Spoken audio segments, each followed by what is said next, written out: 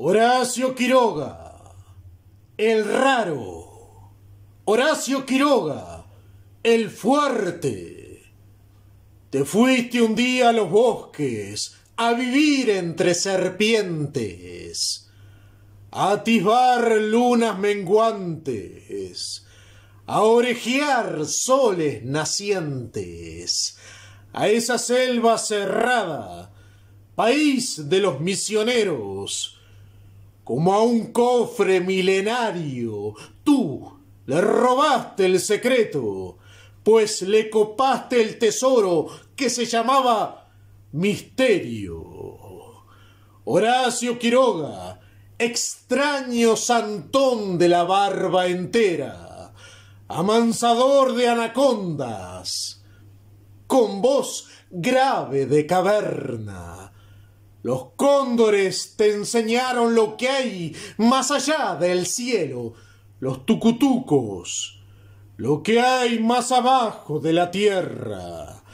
Supiste hablar con las aves, supiste hablar con las fieras, con los reptiles monstruosos, rayados como panteras.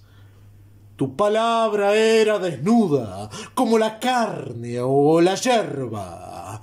Así te entendieron todos los que habitaban la selva, desde el león hasta el viento, desde el chajá a la comadreja. Te prestó el urutaú, su grito de ánima en pena, y lo pusiste en tus cuentos como un abrojo en la jerga.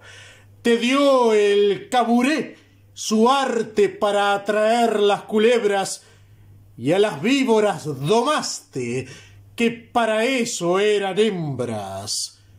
Todos en torno a tus barbas de agrio santo de madera, todos en torno a tu voz de hombre de la edad de piedra, todos en torno a tus ojos, de cachimbas misioneras, desde el tigre al picaflor, desde el viento a la centella, fueron cediendo a tu embrujo, fueron cediendo a tu yerba, como un San Francisco criollo tallado en hueso y en cerda.